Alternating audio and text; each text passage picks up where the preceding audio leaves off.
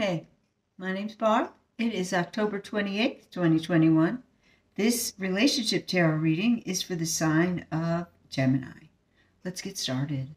Okay, Gemini, it looks like there are many offers on the table for you, many choices, and you are ready to make a move. And it's coming in quick.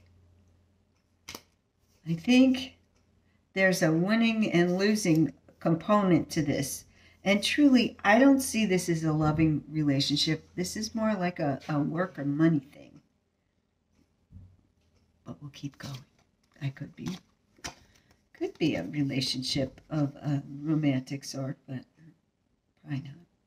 Anyway, your person, they are it looks like they started a new project and people are starting to notice the job they do.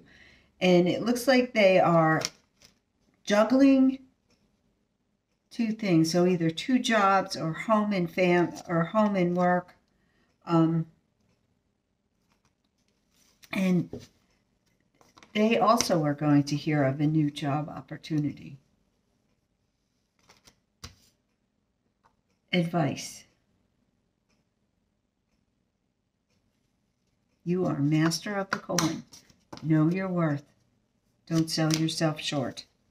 And the outcome is after a short emotional break, um, abundance will come your way. See, it doesn't sound very lovey-dovey to me.